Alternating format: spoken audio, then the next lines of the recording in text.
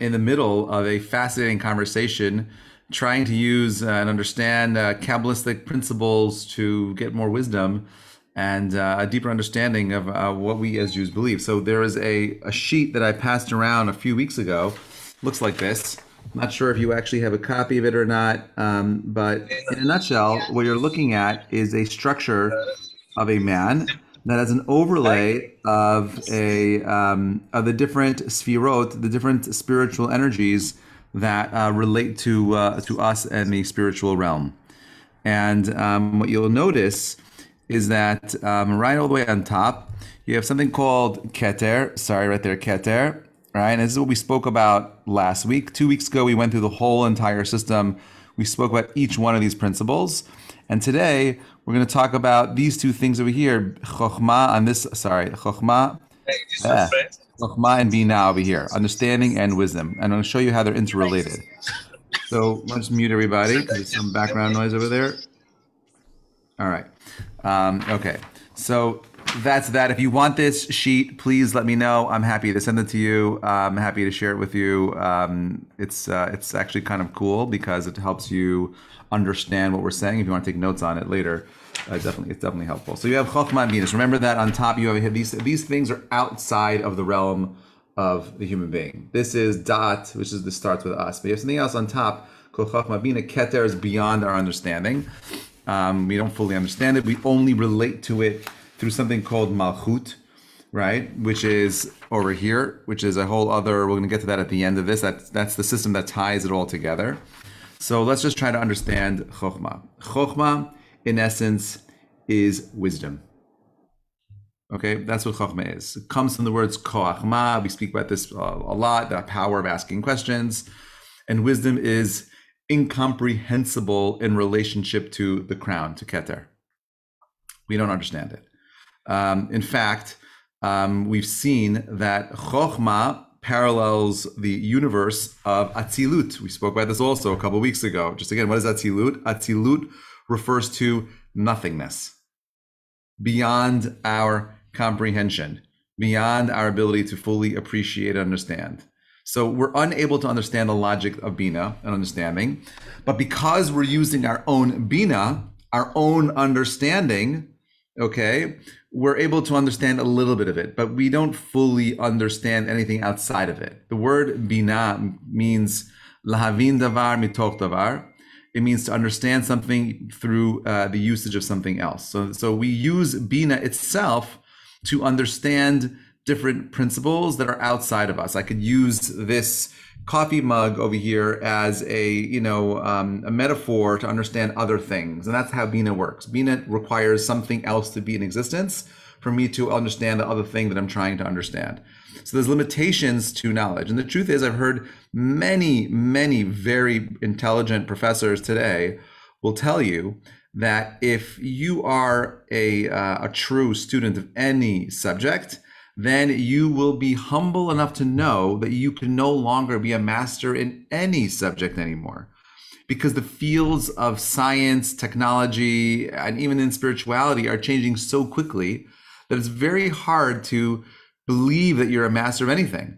Because there's just we're changing the way we see the world. There's so much new data that we're having today we never had before. There's so much new information. There's so much so many new ways of understanding physics and science so it's changing. You ask any physics professor if the, the textbooks they're using today will still be valid in 10 years from now not not a not, not a century 10 years one decade they'll all say in 10 years garnished it's over it's irrelevant. That's how fast things are moving. So this is also true when we talk about Kabbalistic principles. The Kabbalah itself is a system that is designed to help us understand um, spiritual concepts. Now, just I'm just doing this again, just a quick reminder that when we talk about spiritual, un, non non tangible things, we're talking about creating a vocabulary for things that we can't touch or feel or see. Well, what does it mean to have chokhmah? How do you explain that? How do you explain Bina, understanding? It's a process. Like, what is that? So the rabbis went out of their way to try to create a vocabulary system in Kabbalah that helps us understand these principles so we can make some kind of sense of it. So you'll see people using it sparingly here and there, but how the whole system works together, that's kind of what the conversation and the coffee talk is for the next few weeks. Just try to give you a little bit of context. When you hear the words themselves, you have a little bit of a deeper appreciation. You will definitely not be a Kabbalistic master at the end of this. There's no question about it. Um, there's a lot of, uh, of, of reading and learning that has to happen afterwards. If anyone wants to delve deeper and you're looking for really great books that'll help you, I'm happy to make recommendations. So um, we talk about chokhmah, we're talking about bina. So there is a source for chokhmah in the Torah itself. It is a source in the book of Proverbs, in the book of Mishle, and the pasuk reads, "Hashem b'chokhmah yasad haaretz." Hashem founded the earth with chokhmah. Okay, um, the konen shemayim betuna, and he established the heavens with tevuna is discernment. You know, I don't have a better translation for that, but it's another type of understanding. Okay, so that is a verse. King Solomon says that that's a verse. We use that verse to help us understand um, how God relates to the world around us. So it says that God creates, established the heavens with bina. Okay, now, now chokhmah and bina are the basic components of creation.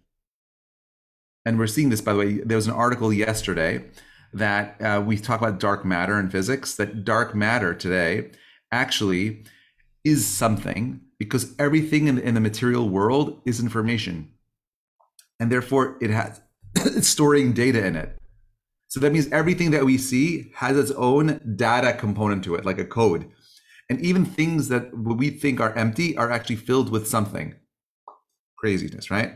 So the world itself is a uh, is a massive data stream of consciousness, and we can actually measure it today. We didn't have that ability before, and this stuff is all just coming out right now.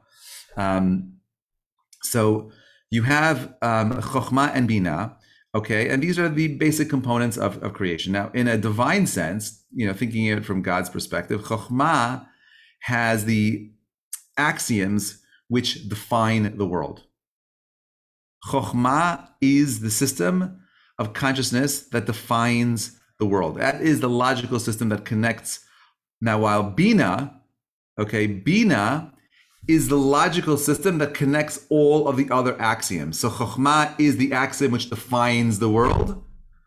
And Bina is the logical system that connects all the dots together and allows us to have like a bigger picture of the universe. So all the laws of nature are axioms.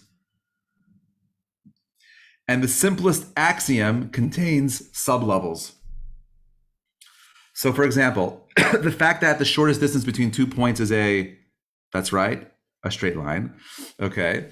Uh, that means that, that, that a point exists, there's straight lines exists, space exists, the concept of existence exists, the shortness and length exists, a beginning, a middle, and an end exists all of those categories exist within chokhmah in wisdom. In bina, understanding, they are all interplaying uh, logically and emerging as a coherent system of laws. Is that clear? Like I don't know how I don't know how to make that any clearer. Okay, but you have these. They have the, the you have kind of like the mainframe, which is chokhmah itself, and then you have the software okay, which kind of allows us to use the hardware of the system. That's what Bina is. So Chokhmah, Chokhmah is the computer, so to speak, the processor. And uh, Bina itself is the system, the code that allows us to see all the moving pieces in the computer itself. Now, when God commands the Jewish people to build a tabernacle in the desert, he asks um, Betzalel to accomplish this task. And he tells them to do it with wisdom, with chokhmah, bina, and da'at. Okay? Now, why? Why Chokhmah bin and that? Because our Chachamim teach us that the tabernacle itself is a microcosm of creation. Okay? It its construction required the same exact ingredients of chokhmah, bina, and dat, of wisdom, understanding, and knowledge. It's the same wisdom, understanding, and knowledge that was necessary to create the universe itself, the olamot. And therefore, Rashi Oh, sorry about that. See, I could block calls and I go into do not disturb, but because my wife is my favorites, um, it doesn't work. Like it just goes through. Like it it it, the, it, it disables the do not call list, uh, the do not disturb uh, function. So uh, there's no way of disabling her as a favorite because she's my favorite. So, so I'm sorry about that. All right. Anyway, so um, you have a um, you have the olamot. Okay. So now Rashi tells us that these qualities, the chokhmah, bina, and dat, uh, as they relate to Betzalel, the chokhmah he teaches us is what a person learns from others. And chokhmah represents the ability to master a subject um, and integrate its fundamental axioms into one mental process. This is Rashi. If you want to see the Rashi over there, I recommend looking at it. It's in um, Shemot. It's in uh, Lamed uh, Aleph Gimel.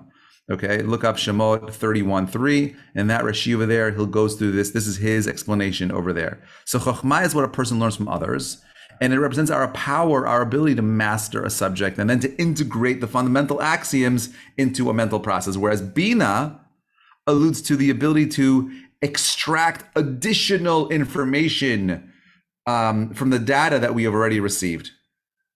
And therefore, and dot refers to the special divine assistance that Betzalel needed to accomplish his work. Okay, let's go back again. You see that up there? Chokhmah, Bina, and Dot on the top. Chokhmah, Bina, and Dot. This is the system. Okay. Uh, Keter is on top of it. Remember, this is beyond our comprehension, but we talk about this system over here, Chachma, Bina, Dot. That's the comes down into reality. This is how it applies to us. So there's a whole system of wisdom and intelligence that is happening outside of the mind. And maybe this would explain how, you know, some people tell you that, you know, like I, I have like this out of body like knowledge that came from somewhere else. Like I don't even know where I, I know this stuff and I don't even know where I know it from. It's this system over here explains it. There's a whole spiritual reality of information that's happening outside of us. And then the dot bubble over here is where everything kind of like comes together in my mind and so on and so forth. Okay. Now, in the Talmud, right, in the Gemara, it says that Bina is understanding of something or one thing from something dissimilar. Okay. It, it's related to the word ben. Bina comes the word ben, meaning between. And therefore, according to that definition, Bina means the distance and separation when you look at something logically, you have placed yourself in a distance from it. You're looking at it outside. When you're looking at this and you're not just using it and you're trying to understand it, you've created a space, then me and this, because I'm, I'm using a different set of eyes when I'm looking at it now. I'm trying to feel it. I want to see its diameter. I want to feel its weight. I want to know what it's constructed of. And therefore, I'm looking at it differently than when I'm just using it. So bina is where you place yourself at a distance from the object that you're trying to understand. Whereas chokhmah is made up of the same letters as koach ma, the potential of what? The potential of what? Or the power to question. That's what chokhmah means. Chokhmah refers to the question of what something really is, its essence, its core. So, for example, if you're looking at the color red, red is a when you're looking at the color red, that is a chokhmah process. What is it? Since red can't be described except in terms of how do you describe the color red to a blind person? How would you do that? How would you describe a color to someone who can't see, who can never see? Very difficult, right? Uh, you can only get the concept of red into your mind by using chokhmah itself. To describe it would mean to separate yourself from the actual thing you're trying to understand, from the essence. And that would already belong to the, the, the realm of bina, of understanding. So when you look at something on the level of chokhmah, wisdom, you're essentially identifying with its essence. In other words, you're trying to make it a part of your own axiomatic structure. How do I relate to this thing? You're basically taking the concept and integrating it into yourself. Now I know what red is. I identify the same idea is also true of the Mishnah, right? When the Mishnah says, um, you know, who has chokhmah, the Mishnah says, who one who learns from every person, right? So therefore, chokhmah is defined as the information input in a person's mind. So just as chokhmah or wisdom constitutes the axioms of creation on the uh, from the sfirot in human terms, it corresponds to the fundamental the fundamental axioms of cognition that lie behind all of our thought processes. Okay, I'm sorry for making it so complicated. I know it's really early, Mechila. Um, so therefore, uh, the axioms are both built into our minds at birth. We're born with this special power. It's integrated from the uh, you know from the subsequent life experiences. They make up our essential ability to create information, structure, categorize, and therefore gaining wisdom. This is how we find information. We we see the world around us, we digest it, we organize it in a way that is meaningful. We're able to go ahead and use this information and apply it to the world around us. Okay, therefore, chokhmah is the sphira that contains in potential of the laws of creation. Chokhmah is how we understand the nature of the universe. It also has inside of it the basic axioms that determine how all the laws function in actuality. The Kabbalists, when they talk about Chokhmah, they tell us that it Chokhmah happens in the realm of Asiyah, the world of making, the world of action. Okay, so so Chokhmah is seen as the basic blueprint that God created to bring the entire spiritual, physical universe into existence. It is also, this is the hardest part, right? It's also the active intellect that God uses to run the universe itself. It also gives the active intellect that God uses to help direct everything around us. It it's it's it got even though God is not compelled to create the world through the intellect, he bound himself to its rules. And when he created Chokhmah, and therefore everything God does has to be logical. Everything God does have to has has to have a structure. It has to have wisdom. There has to be design. One of my, my great arguments for the existence of God is that when you look at the universe itself, you see a design. And when you see a design, you see a design er when you see a design and a designer, you know that there is wisdom there. Wisdom does not happen randomly. Wisdom does not happen accidentally.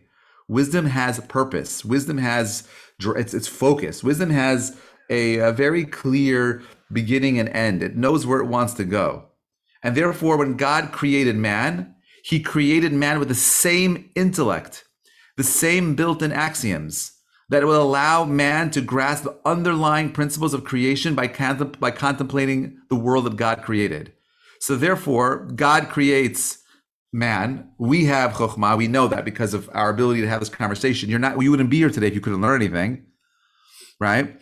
Um, you're here because you want to learn. You're here because you're looking for chokhmah, and therefore God created a tool that enables you to decode the structure that you're in to find God Himself. Okay. Any questions?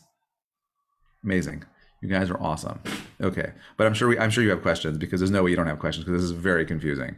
Okay, the relationship between chokhmah and uh, bina, between wisdom, understanding, and, and understanding, can be grasped grasped between the relationship of the male and female. Okay, maybe this will make it a little bit easier. Okay, in a human relationship, the male essentially provides the semen, right? The female takes it. She holds it in her womb for nine months, after which she transforms this fluid into a child, a fully functioning human being. In the same way that chokhmah is a series of facts which we could put into the womb, right? Chokhmah is the code. Binah is the understanding in order to develop an entire logical structure right? So the paradigm would be mathematics. If we take 10 digits from zero to nine and a few axioms, we put them into the womb of Bina and let it gestate, we could now obtain the whole of mathematics. Okay? Again, in terms of the relation between man and woman, Chokhmah must join Bina. Wisdom has to join understanding as the as this intermingling you know completes this union of opposites, right? The only way that a man and woman could love each other is not only physically, but also mentally, spiritually. And the only way that can happen is by removing all the barriers that separate them. And therefore, in essence, a man and a woman in, in love can get close in a way that no other two human beings can get to. There's a certain special quality that is unique to the male female relationship. And this may be the reason why the Torah makes the use of this, this paradigm of human beings. And therefore, love between them must have been the greatest love that ever existed between two people. So when we're looking at the sexual union as a mere physical act, that's not it's not dot. It's not there's no knowledge there. There's nothing happening there. Right? Meaning we see, will see this the idea of of uh, Yeda Adam et Ishto and man knew his wife. If it's just a physical act, there's no dot there. But when you have this deep love between Chokhmah and Binah, right? Between these these two pieces over here, you get to dot right over there. Something more happens. There's a deeper connection that happens over there. Maybe another way of looking at, maybe another way of, underst- of helping you understand this is looking at Chokhmah and Binah um, in a little bit of a different way. Okay, let's think of it in a five-dimensional array. Chokhmah is past, and Bina is future. Okay, the Hebrew word zachar, which means to remember, is the same letters as zach, zach, uh, zecher or zachar, male. Zachar and zachar, male and um, and, uh, and and and remember, right? The same letters. Similarly, the word nekeva, which means female, but comes from the root word as nikev to pierce. So the past is the male, the future is the female. Both chokhmah, right? Both chokhmah, uh, wisdom, and the past can be explained as the information that we have. The future, on the other hand, only exists in our projections, which are a product of Bina. It's all conjecture. Okay, it's all pure conjecture. Um, and we therefore have to pierce into our bina to see it. How do we explain the world that we live in? Okay, so we use chokhmah. Chokhmah is the base principle. Okay, chokhmah, wisdom, penetrates and impregnates. Bina, understanding, which is like a womb, stores the past and gives birth to the future. Okay, remember that the, the, the Chokhmah, the past, anticipates Bina, the future. But the challenge is we only know the present. Did you guys hear that again? Let's do it slowly. Remember that Chokhmah, which is the past, we're anticipating the future, which is Bina, but you and I, my friends, are only in the present. So there's a gap. You have Chokhmah and Bina, and there's a space in between past, future, but we're here in the middle. Okay? The present is the only place where we really have da'at, where we only have knowledge. Okay?